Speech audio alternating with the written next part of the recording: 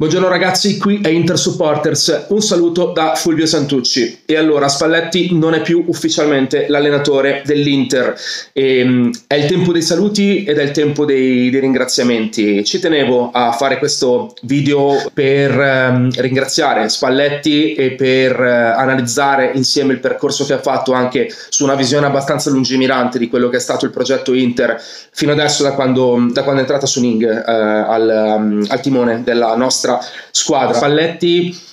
prende l'Inter in un momento in cui l'Inter ha bisogno di Spalletti. Eh, la fine della stagione 2016-2017, disgraziata con ehm, tre allenatori, in realtà due, con uno ad interim con Suning che a metà maggio ribalta tutto e manda via Pioli eh, prima che finisca la, la, stagione. E lì insomma l'accordo con Spalletti praticamente era già eh, giunto a conclusione anche se allora già allora l'Inter cercava Conte con molta mm, veemenza eh, anche se appunto non era possibile secondo me avere un manager di del calibro di Conte, perlomeno come lo reputo io, cioè di primo livello, senza le risorse per poter affondare il colpo e eh, andare a mh, mm, dare un senso appunto a quella eh, possibile assunzione di, di Conte che arriverà poi con due anni di ritardo. Ma tornando a, a Spalletti, è un mister che esce a testa alta e non è così scontato perché l'ultimo veramente uscito a testa così alta era stato, era stato Mourinho, anche se insomma, l'Inter nel frattempo si è ridimensionata con le finanze, gli obiettivi, ha avuto un decennio difficile di, di ricostruzione, ma in questo senso Luciano Spalletti ha fatto quello che gli si doveva chiedere. E, um, alcuni avevano già figurato il fatto che sarebbe rimasto due anni per guidare l'ultima parte della transizione dell'Inter, quindi per lui un anno di ricostruzione ricordo l'Inter arrivava da un nono posto e un disastro praticamente in tutti i reparti. Come prima cosa per ricostruire sistema la difesa praticamente da subito, complice anche l'acquisto di Skriniar che eh, rappresenta la sua leva per andare a sistemare il reparto difensivo.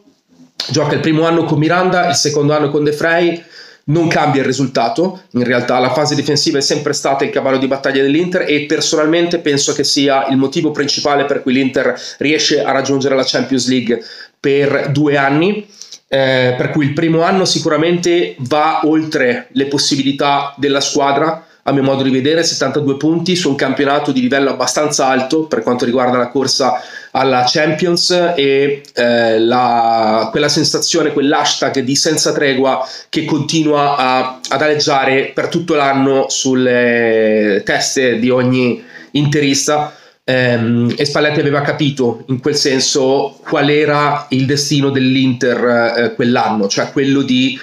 non sedersi mai, quello di essere sempre sulla corda perché questo era l'unico modo per poter arrivare all'obiettivo principale che la proprietà si era posta, la proprietà i tifosi si erano posti negli ultimi, negli ultimi anni, cioè quello della Champions League, per cui un anno quasi interamente da inseguire, in realtà la prima parte ehm, l'ha fatta molto molto bene, addirittura 41 punti, che è un passo scudetto di fatto, poi i giocatori sono quelli che sono e arriva il classico blackout di gennaio-febbraio, però l'intuizione, insomma, ferma Brozovic, tira giù Brozovic da un aereo diretto a Siviglia, dove era praticamente già stato venduto, e nel tempo di un mese e mezzo lo rende uno dei giocatori più affidabili del campionato e un key player, proprio un giocatore chiave di questa squadra. E um, grazie a lui insomma si riesce anche grazie al suo contributo si riesce a tirare la volata per quel grande obiettivo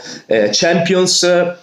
poi vabbè insomma si serve di Cancelo di Rafinha comincia a implementare qualche variazione tattica sul, sul, suo modulo grazie a Cancelo che viene aggiunto alla manovra. Spalletti non ha mai avuto grossa flessibilità tattica però con Cancelo ha capito che ci poteva fare qualcosa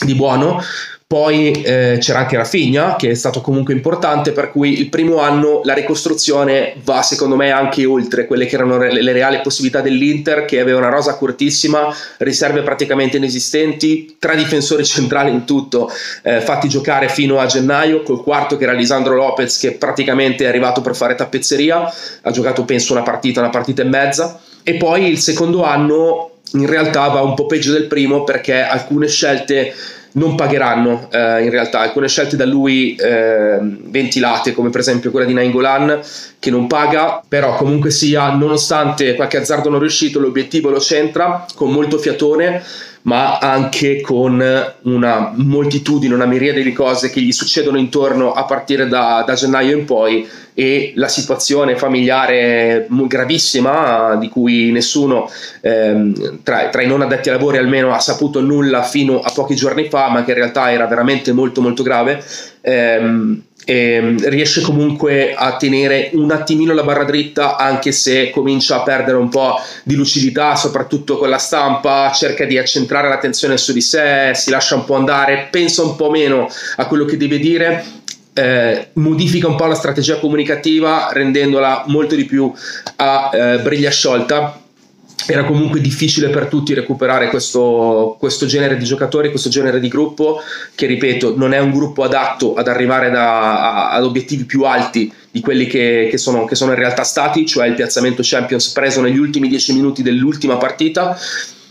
in serie proprio due anni di fila, mm, in condizioni ambientali difficili, perde quello che era il miglior giocatore finora, ma perché è il miglior giocatore eh, finora a sfilarsi dalla, dalla lotta, eh, dopo un provvedimento a suo carico eh, che possiamo insomma eh, ascrivere come disciplinare e eh, comincia a dover recuperare Perisic che è, pro- è stato proprio lui a farlo rimanere nell'estate 2017 ma Perisic ogni tanto perde la Trevisonda e comincia a dire di volersene andare, comincia a dire di voler cambiare campionato, di voler cambiare realtà, di voler cambiare aria, lo deve recuperare per la seconda volta. Dopo averlo fatto nell'estate 2017, lo deve recuperare a gennaio 2019. Ehm, L'Inter comunque non riesce a girare come dovrebbe, però riesce comunque a tirare fuori dal cilindro delle grandi prestazioni, come per esempio la partita mh, contro il Milan, il derby di marzo che secondo me sarà assolutamente fondamentale per, non tanto per l'Inter ma quanto per il Milan per fermare l'onda del Milan. E insomma il finale di campionato scivola con, eh, con diversi problemi e con eh, diverse, diversi risultati non andati a buon fine ma alla fine l'obiettivo lo centra quindi Luciano Spalletti lascia l'Inter a testa alta e questa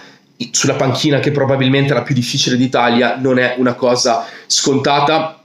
ed è una cosa che solo un tecnico navigato, capace, abile per quanto riguarda l'ambito ricostruzione di un club può riuscire a fare. Per cui da parte mia il saluto a Spalletti che esce, ripeto, a testa altissima. dall'Inter, il ringraziamento a Spalletti perché se oggi l'Inter può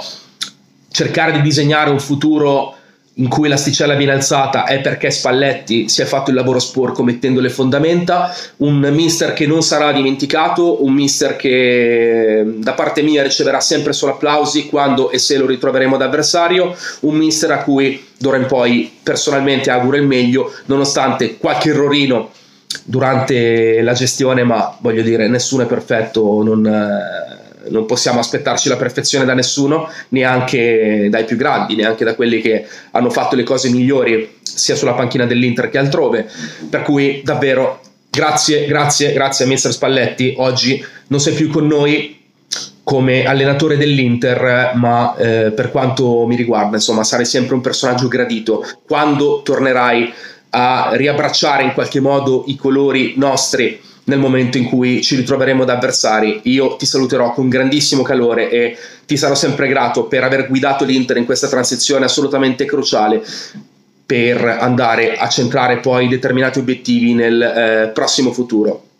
Grazie mister Spalletti e in bocca al lupo per tutto. Questo era il mio pensiero e il mio saluto a Luciano Spalletti. Diteci voi come salutate invece voi eh, Spalletti, se lo fate come me con, eh, con ringraziamenti e con quella voglia di dire a questo allenatore che ehm, davvero lui ha fatto qualcosa di speciale in questo decennio martoriato per l'Inter oppure se viceversa vi auguravate al più presto un'uscita per motivi che mi scriverete sotto. Noi ci vedremo sempre qui sul canale YouTube per i video offline, ma voglio ricordarvi ancora una volta che per quanto riguarda il nostro pezzo forte del canale, che erano le cronache live del, del, campionato, ma anche delle amichevoli, delle partite di coppa, insomma di un po' tutte le partite dell'Inter, dall'anno prossimo ci trasferiamo su Twitch. Link in descrizione per accedere al canale